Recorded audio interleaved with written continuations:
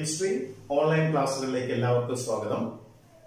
Plus two chemistry ടെക്സ്റ്റിൽ പതിനാറ് ചാപ്റ്ററുകളാണുള്ളത് രണ്ട് ടെക്സ്റ്റുകളാണ് ഫസ്റ്റ് ടെക്സ്റ്റിൽ ഒമ്പത് ചാപ്റ്ററും സെക്കൻഡ് ടെക്സ്റ്റിൽ ഏഴ് ചാപ്റ്ററും അതിൽ ഫസ്റ്റ് ചാപ്റ്ററിന്റെ പേരാണ് സോളിഡ് സ്റ്റേറ്റ് സോളിഡ്സിന്റെ പ്രോപ്പർട്ടീസ് നമുക്കറിയാമല്ലോ. നമ്മൾ മുമ്പ് പഠിച്ചിട്ടുണ്ട് സോളിഡ്സിന്റെ പ്രോപ്പർട്ടീസ് കഴിഞ്ഞ വർഷം സ്റ്റേറ്റ്സ് ഓഫ് മാറ്റർ എന്ന് പറഞ്ഞൊരു ചാപ്റ്റർ പഠിക്കാനുണ്ടായിരുന്നു.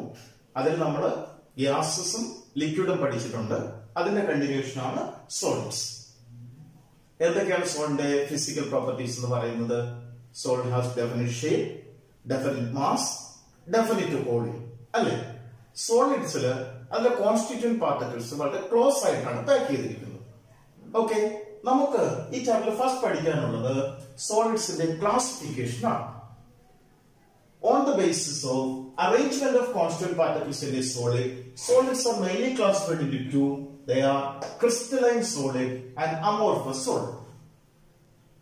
എന്ത് ബേസിലാണ് അറേഞ്ച് ചെയ്തിരിക്കുന്നത് on the basis of arrangement of constituent particles solids are classified into they are crystalline solid and amorphous solid the crystalline solid ഒരു ചെറിയ പിക്ചർ ഇവിടെ ഉണ്ട് ഒരു ക്രിസ്റ്റലൈൻ സോളിഡ് നമ്മൾ നോക്കിക്കഴിഞ്ഞാൽ കോൺസ്റ്റിറ്റ്യൂന്റ് പാർട്ടിക്കിൾസ് എല്ലാ സ്ഥലത്തും അറേഞ്ച് ചെയ്തിരിക്കുന്നത് ഒരേ രീതിയിലാണ് ഒരേ മാനറിലാണ് അറേഞ്ച് ചെയ്തിരിക്കുന്നത് നോക്കൂ കോൺസ്റ്റിറ്റ്യൂന്റ് പാർട്ടിക്കിൾസ് ഈ സോളിഡിലെ എല്ലാ സ്ഥലത്തും ഒരേ രീതിയിലാണ് അറേഞ്ച് ചെയ്തിരിക്കുന്നത് So in a crystalline solid, constant particles are arranged in a uniform order throughout the solid. അതിന് നമ്മൾ ഉപയോഗിക്കുന്ന ടൈമാണ് long range order so in crystalline solid, constant particles are arranged uniformly throughout the solid. അതിന് നമ്മൾ ഉപയോഗിക്കുന്ന ടേമാണ് long range order crystalline on example ആണ് sodium chloride diamond quartz ഇതെല്ലാം crystalline സോൾഡുകളാണ് അമോർഫസ് നമ്മൾ നോക്കിയാൽ അറിയാം. ഈ സ്ഥലത്ത് ഒരു അറേഞ്ച്മെന്റ് ആണ്. അടുത്ത പാർട്ടിലേക്ക് അറേഞ്ച്മെന്റ് രീതി മാറിയിരിക്കുന്നു that means amorphous solid constant particles എല്ലാ സ്ഥലത്തും ഒരേ രീതിയിലല്ല അറേഞ്ച് ചെയ്തിരിക്കുന്നത്. അതിന് നമ്മൾ ഉപയോഗിക്കുന്ന ടേമാണ് short range order Okay, so amorphous solid have short range order.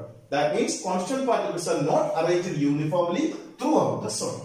Amorphous solid example ആണ് പ്ലാസ്റ്റിക് വുഡ് ഇതെല്ലാം അമോർഫസ് സോൾഡുകളാണ് സോ അപ്പൊ എന്താ crystalline solid amorphous solid first difference എന്ന് പറയുന്നത് crystalline solid have long range order that means constant particles are arranged uniformly throughout the solid Amorphous solid have short range order. That means constant particles are not arranged uniformly throughout the solid. Crystalline solid example sodium chloride, diamond, quartz. Amorphous ഉള്ള example ആണ് plastic rubber wood എന്നൊക്കെ പറയുന്നത് ഇനി നമ്മളൊരു crystalline sold എടുത്തു കഴിഞ്ഞാൽ അതിന് sharp ആയിട്ടുള്ള മെൽറ്റിംഗ് പോയിന്റ് ഉണ്ട് ഇത്ര കൃത്യമായിട്ടുള്ള മെൽറ്റിംഗ് പോയിന്റ് ഉണ്ടാകും എന്നാൽ ഒരു അമോർഫസ് സോൾഡ് എടുത്തു കഴിഞ്ഞാൽ അതിന് ഷാർപ്പ് ആയിട്ടുള്ള മെൽറ്റിംഗ് പോയിന്റ് കാണില്ല it melts over a range of temperature അത് ഒരു റേഞ്ച് ഓഫ് ടെമ്പറേച്ചറിലാണ് മെൽറ്റ് ചെയ്യുന്നത്. അല്ല ഒരു കൃത്യമായിട്ടുള്ള മെൽറ്റിംഗ് പോയിന്റ് ഒരു അമോർഫസ് സോൾട്ട് കാണുകയില്ല. അതാണ് രണ്ടാമത്തെ difference crystal solid have sharp melting point but amorphous solids have no sharp melting point they over a range of temperature and third one that is an important difference crystalline സോളിന്റെ പ്രത്യേകത crystalline സോളിന്റെ നമ്മൾ physical property ആയിട്ടുള്ള electrical റെസിസ്റ്റൻസോ അല്ലെങ്കിൽ refractive ഇൻഡെക്സോ ഉള്ള ഒരു physical property നമ്മൾ ഈ ഡയറക്ഷൻ നടന്നപ്പോ നമുക്കൊരു വില കിട്ടി. എന്നാൽ ഈ ഡയറക്ഷൻ നടക്കുമ്പോൾ ഡിഫറെന്റ് ആയിട്ടുള്ള ഒരു വാല്യൂ ആണ് ലഭിക്കുന്നത്. That means physical property show different value when measured from different directions in a same crystal ഒരു ക്രിസ്റ്റലിൽ തന്നെ പല ഡയറക്ഷൻ നടക്കുമ്പോൾ ഫിസിക്കൽ പ്രോപ്പർട്ടിക്ക് പല വില ലഭിക്കുന്നു. അതിന് പറയുന്ന പേരാണ് anisotropic property. Anisotropic property. Anisotropic property means physical property show different value when measured from different directions in a crystal so crystalline solids are anisotropic in nature എന്നാൽ നമ്മൾ അമോർഫസ് സോളിഡ് എടുത്തു കഴിഞ്ഞാൽ അമോർഫസ് സോളിഡ് ഫിസിക്കൽ പ്രോപ്പർട്ടി ഏത് ഡയറക്ഷനിൽ measure ചെയ്താലും same value ആണ് ലഭിക്കുന്നത്. physical property shows same value when measured from any direction in a solid. അതിന് പറയുന്ന ടൈമാണ് ഐസോട്രോപിക് പ്രോപ്പർട്ടി എന്ന് പറയും isotropic isotropic means physical properties show same value when measured from any direction in a solid That is called isotropic property. So amorphous solids are isotropic in nature. but crystalline solids are anisotropic in nature. Next difference നമ്മൾ crystalline സോളിനെ ഒരു sharp എടുത്തിട്ടുള്ള ഒരു മൂർച്ചയുള്ള കത്തി കൊണ്ട് മുറിക്കുകയാണ്. മുറിക്കുമ്പോൾ നമുക്ക് രണ്ട് പുതിയ പാത്രം ഉണ്ടാകും. ആ പുതുതായി ഉണ്ടാകുന്ന സർഫസ് സ്മൂത്തുമായിരിക്കും പ്ലെയിനുമായിരിക്കും ഫോർ എക്സാമ്പിൾ നമ്മൾ ഒരു ഡയമണ്ട് പീസിനെടുത്ത് കട്ട് ചെയ്യാം. കട്ട് ചെയ്ത് കഴിഞ്ഞാൽ പുതുതായിട്ടുണ്ടാകുന്ന രണ്ട് പാർട്ടുകൾ ആ പുതിയ സർഫസ് ഉണ്ടാകുന്നത് സ്മൂത്തുമായിരിക്കും പ്ലെയിനുമായിരിക്കും എന്നാൽ നമ്മളൊരു തടി കഷ്ണം എടുത്തിട്ട് എന്ത് ചെയ്യുന്നു? നമ്മൾ വാള കൊണ്ട് കട്ട് ചെയ്യാണ്. കട്ട് പുതുതായിട്ടുണ്ടാകുന്ന സർഫസ് എങ്ങനെ ആയിരിക്കുക? ഇറഗുലർ ആയിരിക്കും. സ്മൂത്തും പ്ലെയിനും ആയിരിക്കില്ല. ഇറഗുലർ ആയിരിക്കും. അതാണ് അടുത്ത ഡിഫറൻസ് എന്ന് പറയുന്നത്. ക്രിസ്റ്റലൈൻ സോളിനെ ഒരു ഷാർപ്പ് ടൂൾ കൊണ്ട് കട്ട് ചെയ്താൽ newly formed surfaces are smooth and plain എന്നാൽ അമോർഫസ് സോളിനെ ഒരു ഷാർപ്പ് ടൂൾ കൊണ്ട് കട്ട് ചെയ്താൽ the newly formed surfaces are irregular okay and next one crystalline സോളിന് flow ചെയ്യാനുള്ള ഒരു ടെൻഡൻസിയും കാണില്ല. Crystalline solid have no tendency to flow so they are called true solid നമ്മൾ ക്രിസ്റ്റലൈൻ സോളിനെ എന്ത് പേരിട്ടാണ് വിളിക്കുന്നത്? ട്രൂ സോളിഡ് എന്നാണ് വിളിക്കുന്നത്. കാരണം ക്രിസ്റ്റലൈൻ സോളിന് ഫ്ലോ ചെയ്യാനുള്ള യാതൊരു തരത്തിലുള്ള ടെൻഡൻസിയും ഇല്ല. എന്നാൽ ഗ്ലാസ് ഒരു അമോർഫസ് സോളിഡാണ് നമ്മൾ പഴയ വീടുകളുടെ ജനാല ചില്ലുകൾ നോക്കിക്കഴിഞ്ഞാൽ ജനാല ചില്ലുകളുടെ മുകൾ ഭാഗത്ത് തിക്നെസ് കുറവും താഴ്ഭാഗത്ത് തിക്നെസ് കൂടുതലുമായിരിക്കും. അതെന്താ അങ്ങനെ സംഭവിക്കുന്നത്? വർഷങ്ങൾ കഴിഞ്ഞപ്പോ ഗ്ലാസ് മുകളിൽ നിന്നും താഴേക്ക് ഫ്ലോ ചെയ്തു. അതുകൊണ്ടാണ് ജനാൽ മുഗൾ ഭാഗത്ത് തിക്നെസ് കുറവും താഴ്ഭാഗത്ത് thickness കൂടുതലുമായത്. That means amorphous solid has a less tendency to flow amorphous solid flow ചെയ്യാനുള്ള ചെറിയൊരു ടെൻഡൻസി ഉണ്ട്. So amorphous solid are called pseudo solid or super cooled liquid അതുകൊണ്ട് അമോർഫസ് സോൾ നമ്മൾ വിളിക്കുന്നത്. സ്യൂഡോ സോളിഡ് അല്ലെങ്കിൽ super cooled liquid എന്നാണ് വിളിക്കുന്നത്. These are the main difference between crystalline solid and amorphous solid okay so അപ്പോ first എന്താ എന്ത് ബേസിൽ നമ്മൾ ക്ലാസ് ചെയ്തേ? On the basis of arrangement of constituent particle solids are classified into they are crystalline solid and amorphous solid. In the crystalline solid they have long range order that means constant particles are arranged in a same manner throughout the solid. Example diamond graphite quartz. Then amorphous. In the amorphous solid they have short range order. That means that means the constant particles are arranged not uniformly throughout the solid. Example, plastic, rubber, wood. then second difference, crystalline solid have sharp melting point. But amorphous solid have no sharp melting point. They melt over a range of temperature. Then next, crystalline solids are anisotropic. Anisotropic means their physical properties show different value when measured from different directions in a same crystal. But amorphous solid are isotropic. That means physical properties show same value when measured from any directions in a zone. Then crystalline solid when cut with a sharp-edged tool, the newly formed surfaces are smooth and plain. Crystalline സോളിനെ ഒരു sharp edge tool കൊണ്ട് cut ചെയ്താൽ പുതുണ്ടാവുന്ന surface സ്മൂത്തും പ്ലെയിനുമായിരിക്കും എന്നാൽ when amorphous solid is cut with a sharp edged tool the newly formed surfaces are irregular amorphous solidനെ ഒരു മൂർച്ചയുള്ള കത്തി കൊണ്ട് മുറിച്ചാൽ പുതുതായി ഉണ്ടാകുന്ന സർഫസ് ഇറഗുലർ ആയിരിക്കും then crystalline solid has no tendency to flow so they are called true solid but amorphous solid has a less tendency to flow so they are called pseudo solid or super cooled liquid okay മനസ്സിലായോ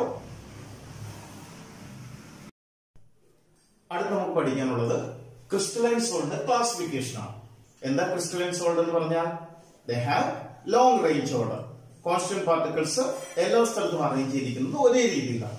so crystalline സോളിന്റെ അതിലെ attractive ഫോഴ്സിന്റെ ബേസിൽ നാലായി class ചെയ്തിട്ടുണ്ട് on the basis of attractive force crystalline solids are classified into four first one molecular solid second one ionic solid third one metallic solid and fourth one covalent solid so on the basis of attractive force crystalline solids are classified into four they are molecular solid ionic solid metallic solid and covalent solid So നമുക്ക് അതിൽ ആദ്യം Molecular molecular solid molecular up molecular solid ഉണ്ടാക്കിയിരിക്കുന്നത് molecules കൊണ്ടാണ് okay ഈ molecular solid മൂന്ന് sub division ഉണ്ട് ആദ്യത്തത് non polar molecular solid non polar molecular solid ഉണ്ടാക്കിയിരിക്കുന്നത് നോൺ പോളാർ മോളിക്യൂൾസ് കൊണ്ടാണ്.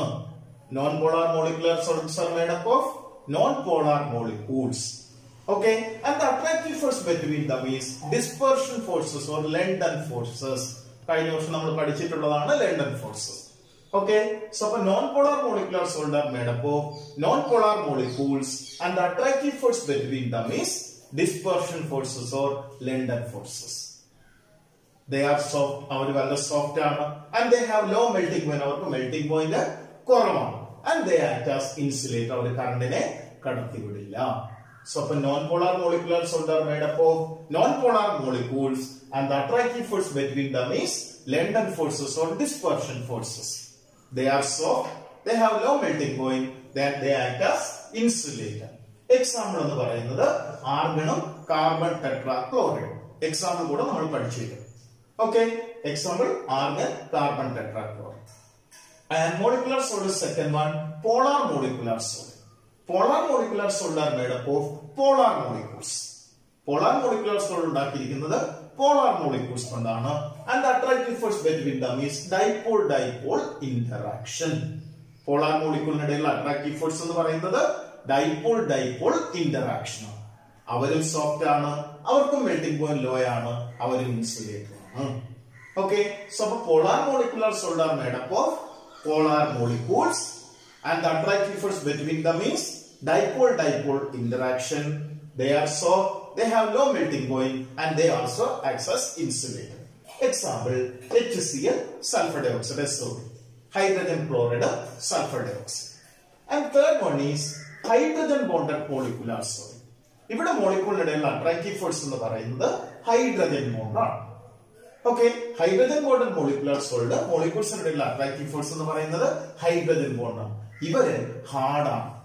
ഇവർ ഹാർഡാണ്. But they have low melting point പക്ഷെ മെൽട്ടിംഗ് പോയിന്റ് ലോ ആണ്. പിന്നെ അവർ എന്തുവാണ്? ഇൻസുലേറ്ററുമാണ്. എക്സാമ്പിൾ എന്ന് പറയുന്നത് ഐസ്. അല്ലെ? ഐസ് നല്ല ഹാർഡാണ്. പക്ഷെ എന്ത് ചെയ്യും? നമ്മൾ പുറത്തെടുത്ത് വെച്ച് കഴിഞ്ഞാൽ അത് ഉരുകി പോകും. So they have low melting point and ice എന്ന് പറയുന്ന ഒരു ഇൻസുലേറ്റർ സോ ക്രിസ്റ്റലൈൻ സോൾട്ടിന് അതിൽ അട്രാക്റ്റീവ് ഫോഴ്സിന്റെ ബേസിൽ നാലായി ക്ലാസ് ചെയ്തിട്ടുണ്ട്. അതിൽ ആദ്യത്തെ ടൈപ്പ് ആണ് മോളിക്കുലാർ സോൾട്ട് മോളിക്കുലാർ സോൾട്ട് മൂന്ന് സബ് ഡിവിഷൻ ഉണ്ട്. അതിൽ ഒന്നാമത്തത് non polar molecular solid non polar molecular solids are made up of non polar molecules and the attractive force between them is dispersion forces or London forces they are so they have low melting point and they are insulator example argon carbon tetrachloride Okay, second one, polar molecular solid. Polar molecular solid are made up of polar molecules and that attractive force between them is dipole-dipole interaction.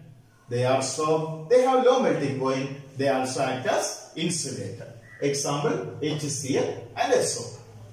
Third one, hydrogen bonded molecular solid. Here the attractive force is hydrogen bond. They are hard. They also have low melting point and they also acts as insulator. Example, ice. ഇത് മൂന്നും molecular സോളിന്റെ classification ആണ് molecular solid ഉണ്ടാക്കിയിരിക്കുന്നത് molecules കൊണ്ടാണ് അതിലെ മൂന്ന് classification non polar molecular solid polar molecular solid and hydrogen bonded molecular solid and second type is ionic solid crystal സോളിൽ രണ്ടാമത്തെ type ആണ് അയോണിക് സോൾ അയോണിക് സോൾ ഉണ്ടാക്കിയിരിക്കുന്നത് ടീച്ചർ പിക്ചർ അറിയാം. Positive and negative ions കൊണ്ടാണ്. Ionic solids are made up of positive and negative ions and the attractive force between them is strong electrostatic force of attraction ionic solid ഉണ്ടാക്കിയിരിക്കുന്നത് positive and negative ions കൊണ്ടാണ്. അവർക്കിടയിലുള്ള attractive force എന്ന് പറയുന്നത് strong electrostatic force of attraction coulombic force ആണ്. Okay for example example എന്ന് പറയുന്നത് sodium chloride ആണ്. പറഞ്ഞതിന്റെ പ്രോപ്പർട്ടീസ് സോഡിയം ക്ലോറൈഡ് പ്രോപ്പർട്ടീസ് എന്താ? ആണ് ബട്ട് ബ്രിട്ടിൽ പൊട്ടിപ്പോകുന്ന സ്വഭാവമുള്ളതാണ്. അയോണിക് സോൾഡ് ആണ് പക്ഷെ എന്ത് ചെയ്യും? അവർക്ക് ബ്രിട്ടിൽ പൊട്ടിപ്പോകുന്ന സ്വഭാവമുണ്ട്. They have high melting point ഇവർക്ക് മെൽട്ടിംഗ് പോയിന്റ് കൂടുതലാണ്. സോഡിയം ക്ലോറൈഡ് നമ്മൾ സാധാരണ വിചാരിച്ചാൽ ഉരുക്കാൻ പറ്റില്ല ഹൈ ടെമ്പറേച്ചറിൽ ഉരുകിയുള്ളൂ they have high melting point okay so അപ്പൊ അവർ ഹാർഡാണ് പക്ഷെ എന്ത് പ്രോപ്പർട്ടി ഉണ്ട്? ബ്രിട്ടിൽ പൊട്ടിപ്പോകുന്ന സ്വഭാവമുള്ളവരാണ് and they have high point ഇനി അവരുടെ മറ്റൊരു പ്രത്യേകത നോക്കിക്കഴിഞ്ഞാൽ ഇവർ സോളിഡ് സ്റ്റേറ്റ് ആയിരിക്കുമ്പോൾ ഇൻസുലേറ്റർ ആണ് കറണ്ടിനെ കടത്തിവിടത്തില്ല. ഉപ്പ് കല്ലായിരിക്കുമ്പോൾ ഉപ്പ് കറണ്ടിനെ കടത്തിവിടത്തില്ല. But in aqueous of molten state they act as conductor എന്നാൽ നമ്മൾ ഉപ്പിനെ എടുത്ത് വെള്ളത്തിൽ കലക്കിയാലോ അല്ലെങ്കിൽ ഉപ്പിനെ ഉരുക്കി വെച്ചാലോ അത് കറണ്ടിനെ കടത്തിവിടും. Okay so ionic solids are insulator in solid state but acts as conductor in aqueous or molten state. അതെന്തായിരിക്കും കാരണം? സോളിഡ് സ്റ്റേറ്റിൽ ഇൻസുലേറ്റർ ആയിരുന്ന സാധനം അക്യൂസ് അല്ലെങ്കിൽ മോൾട്ടൺ സ്റ്റേറ്റിൽ കണ്ടക്ടർ ആയത്. കാരണം സോളിഡ് സ്റ്റേറ്റിൽ അയോൺസിന് ഫിക്സഡ് പൊസിഷൻ ഉണ്ട്. So they are not free to move അയോൺസിന് അവിടെ നിന്ന് മൂവ് ചെയ്യാൻ കഴിയില്ല. എന്നാൽ അക്യൂസ് അല്ലെങ്കിൽ മോൾട്ടൺ സ്റ്റേറ്റിൽ എത്തുകയാണ്. ഉരുകിയ അവസ്ഥയോ വെള്ളത്തിൽ കലക്കി വെക്കുകയാണ് അപ്പൊ അയോൺസിന് കുറച്ച് എന്ത് ചെയ്യാൻ പറ്റും? മൂവ് ചെയ്യാൻ പറ്റും. They are free to move so they act as conductor അപ്പൊ ionic solid act as insulator in solid state but act as conductor in aqueous of molten state എന്താ reason because in solid state ions are fixed position so they are not free to move But in aqueous or molten state, ions are free to move, so they start conducting. Okay so അപ്പൊ crystallise ഉള്ള രണ്ടാമത്തെ ക്ലാസിഫിക് type ആണ് ionic solid എന്ന് പറയുന്നത്. Ionic solid എന്തുകൊണ്ടാണ് ഉണ്ടാക്കിയിരിക്കുന്നത് they made up of positive and negatively charged ions and attractive force between the means is strong electrostatic force of attraction they hard and brittle അവർ കട്ടിയുള്ളതാണ്. പക്ഷേ പൊട്ടിപ്പോകുന്ന സ്വഭാവം ബ്രിട്ടിലാണ് they have high melting point അവർക്ക് melting point കൂടുതലാണ്. They act as insulator in solid state our solid സ്റ്റേറ്റിൽ എന്താണ്? Insulator ആണ്. But act as conductor in aqueous or molten state എന്താ കാരണം?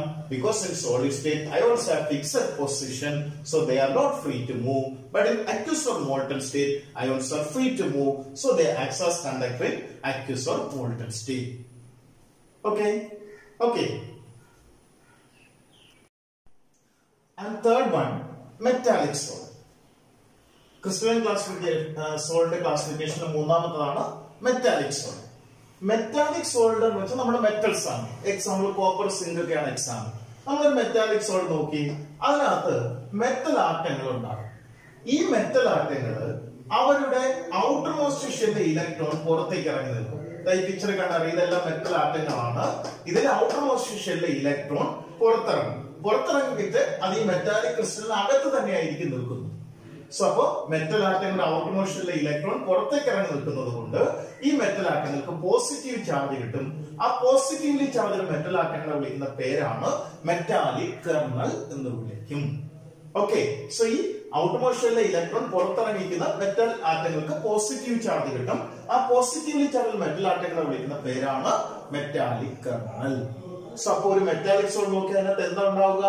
Metallic solid is made up of large number of positively charged kernel surrounded by free electron ഒരു metallic solid എടുത്തു കഴിഞ്ഞാൽ അതിനകത്ത് കുറേയധികം പോസിറ്റീവ് ചാർജുള്ള കെർണൽസ് ഉണ്ടാകും. ആ കെർണൽസിന് ചുറ്റി എന്തുണ്ടാകും? ഫ്രീ ഇലക്ട്രോൺ ഉണ്ടാകും. ഓക്കെ ഈ metallic solid is made up of large number of positively charged kernels surrounded by mobile electron of free electron. The attractive force between this positively charged kernel and mobile electron is termed as metallic bonding. ഈ positive charge ഉള്ള കേർണലും ഇതിന് ചുറ്റുമുള്ള ഇലക്ട്രോണും തമ്മിലുള്ള attractive ഫോഴ്സിനെ വിളിക്കുന്ന പേരാണ് metallic bonding the attractive force between positively charged kernel and mobile electron is termed as metallic bonding. Okay so അപ്പോൾ ഒരു മെറ്റാലിക് സോൾഡ് എന്താണ് ഉണ്ടാക്കിയിരിക്കുന്നത് a metallic solid is made up of large number of positively charged kernels surrounded by mobile electron ഒരു metallic solid ഉണ്ടാക്കിയിരിക്കുന്ന കുറേയധികം positive ചാർജുള്ള kernels കൊണ്ടാണ് അതിനെ സറൗണ്ട് ചെയ്ത് ആര് കാണും? മൊബൈൽ ഇലക്ട്രോൺ കാണും. The attractive force between positively charged kernel and mobile electron is as metallic bonding. Example എന്ന് പറയുന്നത് കോപ്പറും സിങ്കുമാണ് exam metal on metals are metallic solid എന്തൊക്കെ മെറ്റൽസിന്റെ പ്രോപ്പർട്ടീസ് എന്ന് പറയുന്നത്? ദേ ആർ യൂഷ്വലി ഹാർഡ് അവർ സാധാരണയായിട്ട് എന്താണ്? കട്ടിയുള്ളവരാണ്. പിന്നെ they have high melting point and boiling point അവർക്ക് മെൽറ്റിംഗ് പോയിന്റും ബോയിലിംഗ് പോയിന്റും കൂടുതലാണ്. പിന്നെ they are malleable and ductile പഠിച്ചിട്ടുണ്ട് നമ്മൾ മെറ്റൽസ് മാലിബിൾ ആണ് ഡക്റ്റൈൽ ആണ്. And metals have metallic lustre അവർക്ക് എന്തുണ്ടാകും? മെറ്റാലിക് ലസ്റ്റർ ഉണ്ടാകും. പിന്നെ okay they are good conductors of heat and electricity metallic solid എന്ന് പറയുന്നത് ഹീറ്റിന്റെയും ഇലക്ട്രിസിറ്റിയുടെയും നല്ല കണ്ടക്ടേഴ്സ് ആണ്. ഇതാണ് മെറ്റാലിക് സോൾഡ് ഓക്കെ അപ്പൊ ക്രിസ്റ്റൽസുള്ള മൂന്നാമത്തെ ക്ലാസിഫിക്കേഷൻ ആണ് മെറ്റാലിക് സോൾഡ് എന്ന് പറയുന്നത്. മെറ്റാലിക് സോൾഡ് എന്താണ് ഉണ്ടാക്കിയിരിക്കുന്നത്?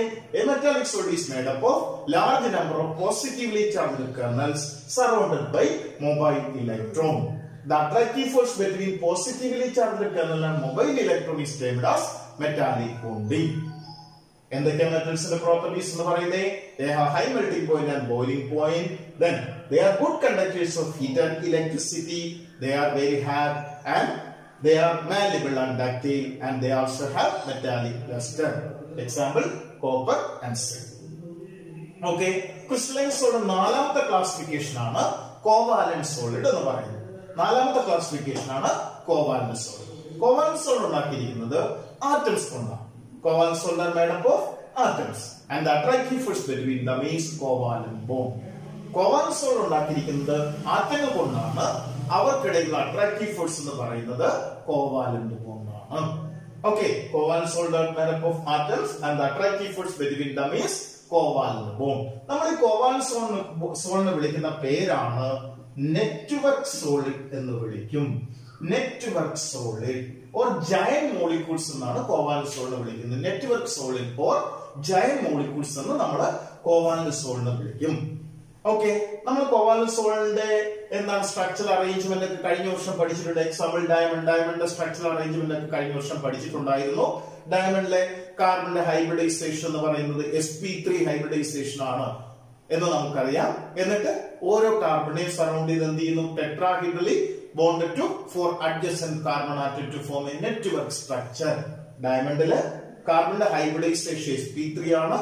എന്നിട്ട് ഒരു കാർബൺ തൊട്ടടുത്തിരിക്കുന്ന നാല് കാർബണുമായി ടെട്രാഹിഡ്രലി ബോണ്ട് ചെയ്ത് ഒരു നെറ്റ്വർക്ക് സ്ട്രക്ചർ ഉണ്ടാകും. അതുകൊണ്ടാണ് നമ്മൾ കോവാൻ സോൺ എന്ത് പേരിട്ട് വിളിക്കുന്നത് network solid or giant molecules giant means big big molecules എന്ന് വിളിക്കുന്നത് ഓക്കെ ഓക്കെ. സോ അപ്പൊ കോവാലന്റ് സോൾ ഉണ്ടാക്കിയിരിക്കുന്നത് ആറ്റംസ് കൊണ്ടാണ് അവർക്കിടയിലുള്ള അട്രാക്റ്റീവ് ഫോഴ്സ് എന്ന് പറയുന്നത് കോവാലന്റ് ബോണ്ടാണ് എക്സാമ്പിൾ ഡയമണ്ട് സിലിക്കൺ കാർബൈഡ് അഥവാ carbon diamond and silicon carbide അഥവാ കാർബൺ ഓക്കെ നമ്മൾ അവരെ എന്ത് പേരിട്ട് വിളിക്കും? Network solid or giant molecules എന്നും വിളിക്കും. ഓക്കെ ഡയമണ്ട് കാർബൺ ഹൈബ്രിഡൈസേഷൻ ഏതാ എസ് പി ത്രീ ആണ്. എന്നിട്ട് ഒരു കാർബൺ തൊട്ടടുത്തിരിക്കുന്ന നാല് കാർബണുമായി ടെട്രാഹിഡ്രലി ബോണ്ട് ചെയ്ത് ഒരു നെറ്റ്വർക്ക് സ്ട്രക്ചർ ഉണ്ടാകും. അതുകൊണ്ടാണ് ഇവർ നമ്മൾ network solid or giant molecules എന്ന് വിളിക്കുന്നത്. അതുകൊണ്ടാണ് ഡയമണ്ട് എന്തായിരിക്കുന്നത്? ഹാർഡ് ആയിരിക്കുന്നത്. കോവൻസോളിന്റെ പ്രോപ്പർട്ടീസ് നോക്കി കഴിഞ്ഞാൽ അവരെന്താ ആണ്. And they have high melting point അവർക്ക് മെൽറ്റിംഗ് പോയിന്റ് കൂടുതലാണ്. And they act as insulator അവർ കറണ്ടിനെ കടത്തിവിടുന്നു. സാധാരണ കോവാലന്റ് സോൾട്ട്സ് എല്ലാം ഹാർഡാണ് they have high melting point and they act as insulator. Okay so അപ്പൊ കോവാലന്റ് സോൾ ഉണ്ടാക്കിയിരിക്കുന്ന ആറ്റംസ് കൊണ്ടാണ് അവർക്കിടയിൽ അട്രാക്റ്റീവ് ഫോഴ്സ് എന്ന് പറയുന്നത് കോവാലന്റ് കൊണ്ടാണ് they are also called network solid on giant molecules എന്ന് വിളിക്കും. എക്സാമ്പിൾ എന്ന് പറയുന്നത് ഡയമണ്ട് ആൻഡ് സിലിക്കൺ കാർബൈഡ് അഥവാ കാർബൺ ഓക്കെ അവരുടെ പ്രോപ്പർട്ടീസ് എന്തൊക്കെയാ? ദേ ആർ ഹാർഡ് അവർ കട്ടിയുള്ളവരാണ്. They have high melting point അവർക്ക് മെൽറ്റിംഗ് പോയിന്റ് കൂടുതലാണ്. And they act as insulator അവിടെ എന്തായിട്ടാണ് ആക്ട് ചെയ്യുന്നത്? ഇൻസുലേറ്റർ ആയിട്ടാണ് ആക്ട് ചെയ്യുന്നത്. ഇനി ഒരു എക്സെപ്ഷണൽ കോവാലൻസ് ഉണ്ട്. സാധാരണ കോവാലൻസുകളുടെ പ്രോപ്പർട്ടീസ് നിന്നും ഡിഫറെന്റ് പ്രോപ്പർട്ടി ഉള്ള ഒരു കോവാലൻസ് ഉണ്ട്. അതാണ് ഗ്രാഫൈറ്റ് എന്ന് പറയുന്നത്. Graphite is an exceptional covalence ഉണ്ട്. കോവാലൻസ് ആണ് ഗ്രാഫൈറ്റ് പക്ഷെ അതിന്റെ പ്രോപ്പർട്ടീസ് നോർമൽ കോവാലൻസ് പ്രോപ്പർട്ടീസ് നിന്നും ഡിഫറെന്റ് ആണ്. എക്സാമിൽ ഒരു മാർക്കിന്റെ ക്വസ്റ്റ്യൻ ചോദിച്ചിട്ടുണ്ട്. എക്സെപ്ഷണൽ കോവാലൻസ് നെയിം എഴുതാൻ വേണ്ടി. ആരാണ്? ഗ്രാഫൈറ്റ് എന്താ ഗ്രാഫൈറ്റിന്റെ പ്രത്യേകത എന്ന് പറയുന്നത്? ഓക്കെ ഗ്രാഫൈറ്റ് കണ്ടക്ടർ ആണ്. ഓക്കെ ഗ്രാഫൈറ്റ് ഹാർഡ് ആണോ? ഗ്രാഫൈറ്റ് നമുക്ക് എന്ത് ചെയ്യാൻ പറ്റും? ഗ്രാഫൈറ്റ് സോഫ്റ്റ് ആണ്. ഓക്കെ അതുകൊണ്ട് ഗ്രാഫൈറ്റിനെ ലൂബ്രിക്കന്റ് ആയിട്ട് ഉപയോഗിക്കുന്നൊക്കെ നമ്മൾ പഠിച്ചിട്ടുണ്ട്.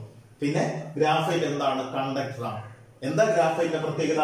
ഗ്രാഫൈറ്റിലെ കാർബണിന്റെ ഹൈബ്രിഡൈസേഷൻ എന്ന് പറയുന്നത് എസ് പി ടു ആണ്. ഗ്രാഫൈറ്റിലെ carbon hybridisation S P two ആണ്. എന്നിട്ട് ഒരു കാർബൺ തൊട്ടടുത്തിരിക്കുന്ന മൂന്ന് കാർബണുമായി ബോണ്ട് ചെയ്യും.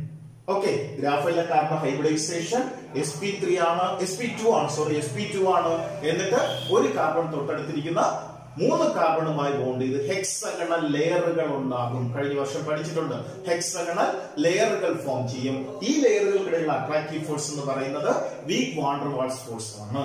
So one layer can slide over another layer അത് കാരണം ഒരു ലെയർ വേറെ ലെയറിന്റെ പുറത്ത് തെന്നി നീങ്ങും. അതുകൊണ്ട് നമ്മൾ ഗ്രാഫൈറ്റിനെ ലൂബ്രിക്കന്റായി ഉപയോഗിക്കാറുണ്ട്.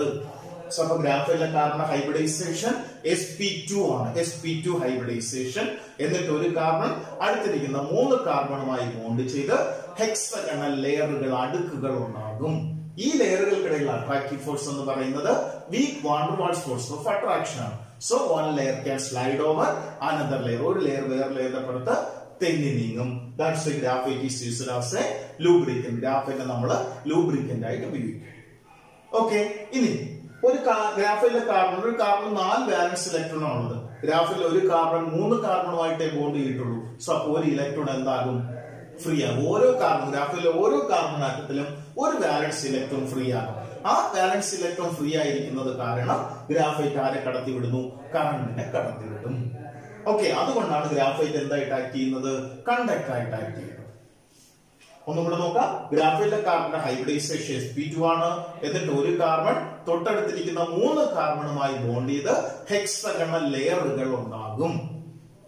ഈ ലെയറുകൾക്കിടയിലുള്ള അട്രാക്റ്റീവ് ഫോഴ്സ് എന്ന് പറയുന്നത് weak van der Waals force of attraction ആണ്. So one layer can slide over another layer ഒരു ലെയർ വേറെ ലെയറിന്റെ പുറത്ത് എന്ത് ചെയ്യും? തെന്നി നീങ്ങും. ദാറ്റ്സ് ഗ്രാഫൈറ്റ് ഈസ് എ ഇനി ഗ്രാഫൈറ്റ് എന്തുകൊണ്ടാണ് കണ്ടക്ടർ ആയത്? ഒരു കാർബണിന് നാല് വാലൻസ് ഇലക്ട്രോൺ മൂന്നെണ്ണം മാത്രമേ ഷെയർ ചെയ്തിട്ടുള്ളൂ. ഒരു വാലൻസ് ഇലക്ട്രോൺ ഫ്രീ ആണ്. അതുകൊണ്ടാണ് ഗ്രാഫൈറ്റ് എന്തായി പ്രവർത്തിക്കുന്നത്? കണ്ടക്ടറായി പ്രവർത്തിക്കുന്നത്. ഓക്കെ ഓക്കെ സോ അപ്പോ നാലാമത്തെ ക്ലാസിഫിക്കേഷൻ ആണ് കോവാലൻസോഡ് കോവാലൻസോഡ് കോവാലൻസ് ഉണ്ടാക്കിയിരിക്കുന്നത് ആറ്റംസ് കൊണ്ടാണ്.